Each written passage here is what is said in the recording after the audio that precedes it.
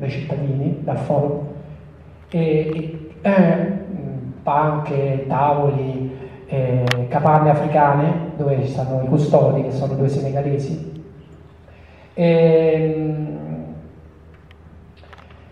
quindi l'amore da parte de, del quartiere, de, dei cittadini per questo posto, la tutela, la cura, il disinteresse da parte dell'istituzione fondamentalmente, perché io penso, non lo so, penso che in qualsiasi altra capitale d'Europa, eh, sia Berlino che, non lo so, Amsterdam o Barcellona, Madrid, eccetera, se fosse successa una cosa così. Questo è, un, è un concerto che noi abbiamo fatto dopo la vittoria, che adesso piano piano vi racconto, e che l'abbiamo fatto una volta ogni anno per anni. Questo, la, la, canzone è uscita dieci anni fa e vi, vi spiego meglio. Questo, questi sono concerti incredibili che abbiamo fatto proprio lì alla riva del lago in cui raccoglievamo i soldi per sostenere l'apertura, perché è stata praticamente per anni è stata sostenuta in modo auto, diciamo, autogestito, è stato un lago autogestito. Dopo, dopo l'occupazione dei centri sociali abbiamo diciamo, autogestito un lago per alcuni anni ed è stato favoloso perché intorno al lago si è formata veramente una comunità, cioè una comunità è cresciuta e si è formata di bambini, di ragazzi, di signori, di anziani che hanno sentito quel posto come loro e hanno sentito anche che, che era una, un, un, una, speranza, perché poi se vai a vedere effettivamente, cioè non è, è chiaro che non è il lago di Bolsena, infatti non è il lago Turano, non è un lago, che dici, perché lago è questo, però è un lago che è nato in mezzo, è uscito fuori dal cemento, è uscito fuori in mezzo ai, ai palazzi, alle macchine, e, e, ha creato questo sistema, ecosistema, quindi è un lago che ci sta dicendo qualcosa. Ci stanno oggi delle scolaresche, professori che magari sentono stati frontali hanno sentito la canzone, quando vengono di Torino, di Genova, quando vengono a Roma, vanno a vedere San Pietro, il Colosseo e poi vanno al lago della Snia, mi chiedono appunto di andare lì, spiegarglielo ai ragazzi. Cioè. Perché? Perché è una cosa, infatti, ripetevo, cioè una, una, qualsiasi amministrazione l'avrebbe valorizzata, cosa che non è successo purtroppo per, per Roma nel corso degli anni eh, anzi, inizialmente, quando noi abbiamo pubblicato questa canzone, ci rispose lo stesso Ignazio Marino e disse tutto toglieremo l'aria. Perché? Perché quando uscì, che era il 19 luglio del 2014, praticamente l'8 agosto del 2014 scadevano i termini per cui il Comune di Roma avrebbe potuto rendere esecutivo l'esproprio dopo dieci anni che aveva cominciato, non aveva fatto mai niente per rendere esecutivo. Fece, fecero un giorno di lavori, rendendo l'esecutivo, destinando 40.000 euro per fare dei lavori, perché comunque ha bisogno di, tanti, di tanta manutenzione, di tanti lavori. Di quei 40.000 euro poi sono stati stornati per i parcheggi del giubileo della misericordia. E quindi per anni e anni e anni è stato veramente abbandonato questo posto. E se non, se non fosse appunto per l'amore, per l'amore dei, di tutti quelli che gli stavano intorno. E che vi devo dire? Io quando ho cominciato a pensare a, a come l'arte, come una canzone potesse raccontare questa storia, io tra l'altro devo, confesso, ma, ma ne sono abbastanza, mh, penso, penso, che la, il successo della canzone è dovuto anche a questo, che non, la, non conoscevo benissimo tutto quanto, non conoscevo bene tutto. Se avessi conosciuto tutto sarei forse rimasto intossicato da tro- troppe informazioni, non so se sarei riuscito a fare questa canzone. Invece non la conoscevo tanto bene la storia, sapevo che c'era, che era lì vicino a casa perché io abito a Centocelle, sapevo che stava lì, ma non c'ero mai entrato, non l'avevo mai vista. Poche persone avevano visto il lago della Snia prima che ci fosse la canzone. E quando mi hanno chiesto di farlo, appunto, io sono andato a vedere dall'alto il lago, che si poteva intra- intravedere attraverso la vegetazione, sono andato a, le- a sentire dei video in cui c'erano dei le- signori e dei compagni del territorio che parlavano del lago. E tra le altre cose dicevano che lì c'era l'acqua bulicante, l'acqua bulicante. Quando, ma, quando, io ho sentito questa cosa mi si è illuminata la mente perché ho detto l'acqua bulicante, ecco dove sta l'acqua bulicante. Cioè, ma per quanti anni siamo passati, immagino anche voi, a via dell'acqua bulicante? pensando, ma che è sta acqua bullicante? No. Io da quando sono piccolo dico, ma che è via dell'acqua bullicante? Che è via della Maranella? Cioè, quando capito che lì c'era l'acqua bullicante, ho detto no, io questa è una parola chiave che devo mettere assolutamente nella canzone, perché, cioè, tutti i romani sanno che c'è via dell'acqua bullicante, ma se te gli dici guarda che l'acqua bullicante ha dato vita a un lago, cioè, no, non potevi prosciugarlo, nel momento in cui dici una cosa del genere, hai vinto. E quindi ho detto l'acqua bullicante ci deve stare. Poi chiaramente io volevo fare una canzone che raccontasse della bellezza del lago, della bellezza che c'è, infatti parlo della metropoli meravigliosa, perché uno spesso anche nel rap c'è questa cosa di dire quanto siamo angosciati, soffocati, tutto fa schifo, invece no, c'è, meraviglioso, però allo stesso tempo bisogna essere pure aggressivi, no? Allora voluto comunque essere e dire subito chi era, tra virgolette, il cattivo, cioè il palazzinaro, quindi nominarlo anche palazzinaro, anche se il grande Antonello Soggia, che indimenticabile che purtroppo ci ha lasciato un po' di anni fa, un grande architetto urbanista che cercava di raccontarci la città, mi diceva sempre guarda che non esiste più il palazzinaro puro, perché oggi il palazzinaro, quello che costruisce le case, è anche un editore di giornale, è anche un politico, cioè quindi se ti dici solo palazzinaro, però io volevo dire proprio palazzinaro, perché poi tanti non, cioè chi è che ci costruisce questi palazzi? Roma è meravigliosa, il centro di Roma è una meraviglia e noi siamo qui nelle periferie, nella bruttezza di questi palazzi, ma chi è che ha costruito il palazzinato? Però se te dici nella canzone palazzina, in una canzone dici palazzinaro, la gente subito dice, oddio mamma mia che palle, ma questo comincia a attaccare con questo palazzo ma che Allora invece riempendola di rime palazzinaro amaro, sei un palazzinaro baro, per tutto il male fatto a Roma adesso paghi caro. E già così te la bevi, il palazzinaro te lo sei bevuto, sei arrivato al palazzinaro, il caro, senza che manco te ne sia accorto. Poi c'è un'immagine che tra l'altro è uscita fuori alla fine della canzone, all'inizio non c'era, al funerale del tuo centro commerciale, perché quello, quello che, si, che, vediamo, no? quello scheletro, è il funerale di un centro commerciale. È bellissima l'immagine, no? Il funerale del tuo centro commerciale è bellissimo vedere il nostro lago naturale. Scava, scava, scava, nella notte brava hai trovato l'acqua bulicante. L'acqua con le bollicine, che è sta acqua bollicante? L'acqua con le bollicine. E tra l'altro con le bollicine perché arrivano i gas da sottoterra. Quindi lì c'è anche, c'è, c'è, ci stanno tantissime cose da, da, scoprire lì al lago di Lasnia. Io quando, quando, oggi vado nelle scuole a fare il rap no? e gli chiedo ai ragazzi, voi sapete che abbiamo un lago naturale a Roma, uno? No, mi dicono, ma scusa, ma che vi insegnano i professori?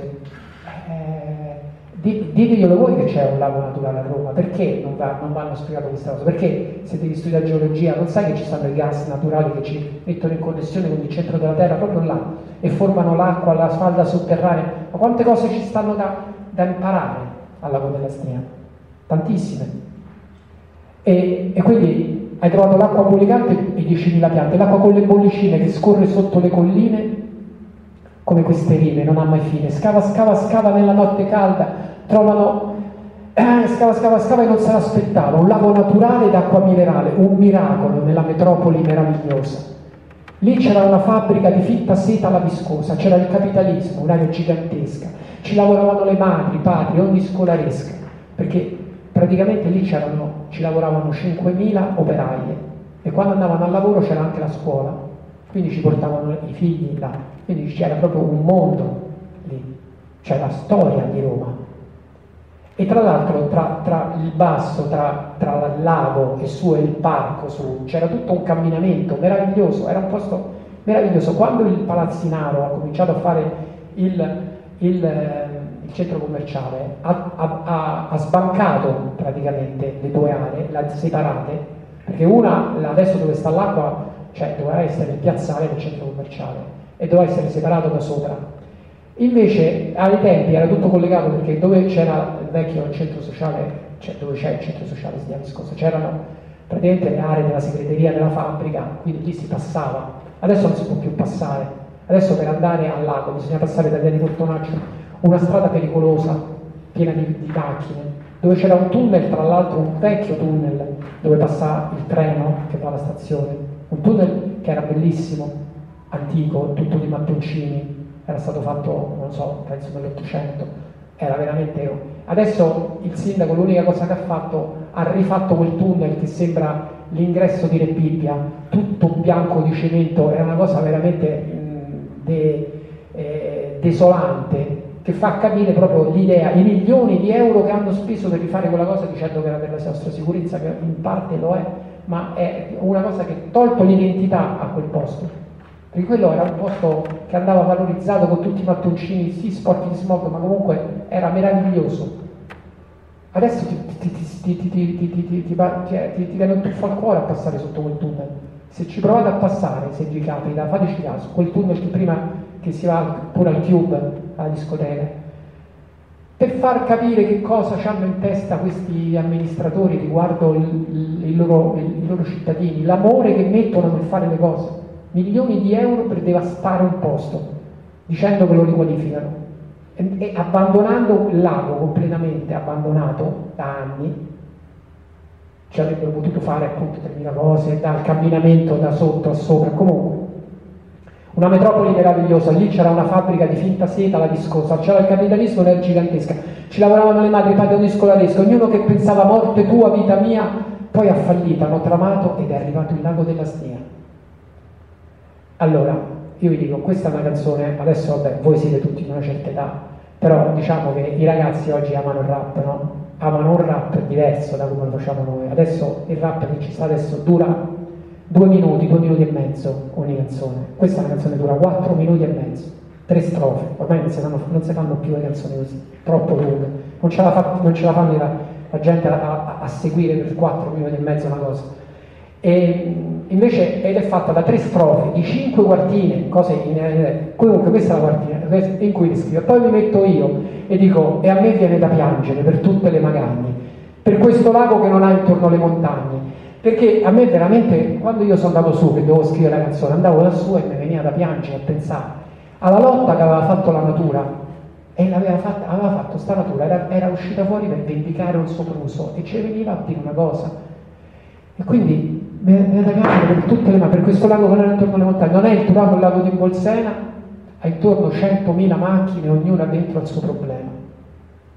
Dopodiché c'è il ritornello di quel grande che è Daniele Coccia, che ha una voce fantastica, è del muro del canto. E tra l'altro io devo dire che quando lui ha fatto il ritornello non c'ero in studio di registrazione perché stavo a, a Padova facendo un concerto, però telefonavo per sapere, la canzone era già fatta, mancava solo il ritornello. E dicevo ad Alessandro Peravanti, il batterista, dicevo, Ale, ma eh, come sta andando questo ritornello? Ma ha fatto tutto a posto, ha già chiuso. E che dice? Dicono le parole. Ma non mi ricordo, dicono in mezzo ai mostri di cemento. Dico in mezzo ai mostri di cemento, ma che è sta palla? Dico, ma non è, cioè, respingente come Palazzinaro. Cioè, in mezzo ai mostri di cemento, ma, ma non, non poteva usare qualche parola più bella? No, non ti preoccupare, fai. Poi l'ho sentito, è una meraviglia. In mezzo ai mostri di cemento, l'acqua mo riflette il cielo, è la natura che combatte, sto quartiere è meno nero.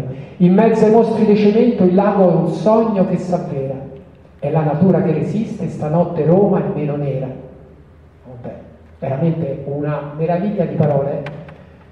E dopodiché la seconda strofa io ho cercato di, di raccontare i quartieri che stavano intorno al lago, che sono dei bellissimi quartieri, tipo Tor- Bella Torpigna, Bella Torpignattara, e di tratteggiarli con una rima un po' l'identità che hanno questi quartieri. Bella Torpigna, Bella Torpignattara, Bella Borgata, dove il razzista la sua bara perché sapete che Torpignattara è una delle punte di, di inclusione insomma, che ci stanno a Roma, in cui c'è tra l'altro una scuola come la Pisacane che ha quasi l'80% di eh, ragazzi stranieri, stranieri tra virgolette, insomma, perché ormai sono italiani che stanno convivono tranquillamente, anche se ovviamente ognuno sta per conto suo, però comunque insomma uno cerca di, di cercare quella Roma meticcia di cui eh, si parla. E poi praticamente lì intorno al lago ci sta, poi c'è il Pigneto, c'è Casalbertone, eh, poi c'è Prenestino Labicano. Prenestino Labicano è proprio la via di via Prenestina dove stanno i palazzoni appunto del Palazzinaro, che alla fine è quella che che, che c'ha, ognuno, Torpignattara è bella perché è bella, c'ha quella cosa là, di Vigneto, lo sappiamo, da San Bertone è comunque popolare, bella, Trenessino Labicano che c'ha?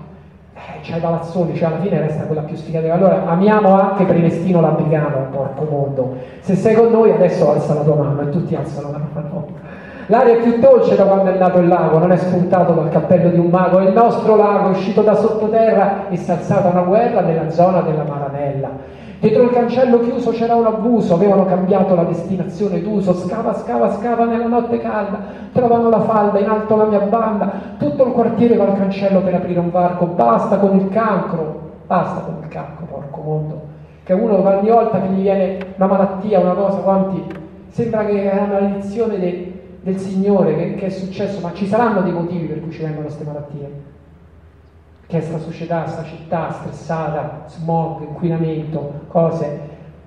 Cioè, per una volta che c'è un lago ce lo volete togliere, per una volta che c'è questa cosa bellissima ce la volete togliere, oppure la volete abbandonare e poi dopo vi racconto ancora non è finita.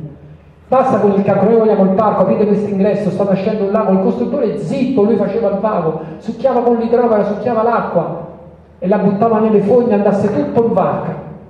Poi è arrivato un acquazzone e non è un segreto, si è rotto il collettore e si è riempito di merda il pigneto. E questa, prima di tutto, è una storia vera.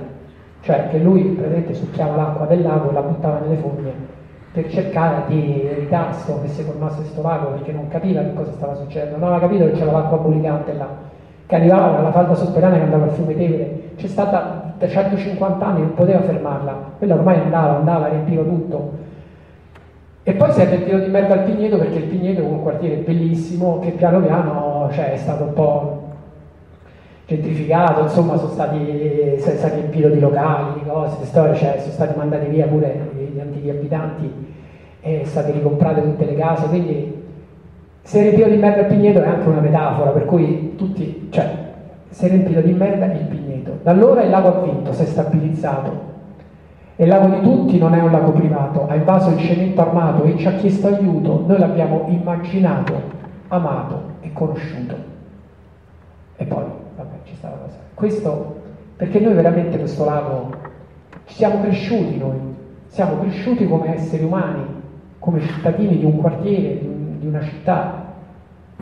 Siamo cresciuti, abbiamo imparato ad amarlo di più il nostro territorio. Io cioè veramente di commuovo perché cioè, a un certo punto abbiamo fatto queste feste che uno dice sì, quando io ritorno delle volte mi, mi piace tantissimo tornare nei centri sociali a fare concerti pure, Forte Prenestina, mezzanotte e mezza, all'uno, alle tre del mattino, con tutti gli affassariani, cioè, ma veramente oggi il, il, concerto bello della mia vita è al lago della Snia alle 4 del pomeriggio, con tutti, con mia madre, con, con con, con, tutti i bambini, con tutte le signore, gli anziani, i ragazzi. Cioè questo è, è il quartiere, la comunità nuova, bella, che si è formata, che si è creata, che si è formata con il lago, cioè il lago ci ha dato la possibilità di crescere come, proprio come comunità, come persone. E anche ha messo in crisi e con le spalle al muro l'amministrazione. Per cui, una volta che è uscita fuori questa cosa, e devo ammettere, Blob l'ha mandata subito, subito, il primo giorno, boom. Repubblica a quel punto l'ha adottata perché ci stanno comunque dei giornalisti in gamba a Repubblica, anche se è quello che è, però l'ha adottata, cioè ha cominciato, ha fatto le cose, insomma piano piano è diventata talmente di, di dominio pubblico che lo, loro alla fine, l'amministrazione, gioca su, su che cosa? Sull'ignoranza, no? Gioca sull'ignoranza, per cui se, se i cittadini non sanno di quella cosa, ma che cioè, chi se ne frega, prosciugatele e fateci questi quattro grattacieli. Erano dieci anni che stavano aspettando e stavano quasi di decorrenza termini, 8 agosto, 10 agosto se non lo faceva il, il, il proprietario che entrava in possesso della cosa. E, e invece praticamente una volta che, che, la, che, è di tutti, davanti a questo, ma chiunque, qualsiasi amministratore politico, non può, non può che difendere questo posto. Nessuno può mettersi contro, anche se hai preso milioni di euro magari dal tipo che ti ha detto fa finta di niente, fa passare tempo, fa passare questi dieci anni. Perché ci sta una lotta di, carte, di burocrazia, di cose, eh, non possono, eh, qua, là. Alla fine quindi è andata, adesso stati fatti, è, stata, è, stata, è, è una vittoria, la parte del lago La parte de, de, capa, de, dei capannoni della fabbrica ancora è una battaglia, però è ancora in ballo. Purtroppo poi ci sono state pure tante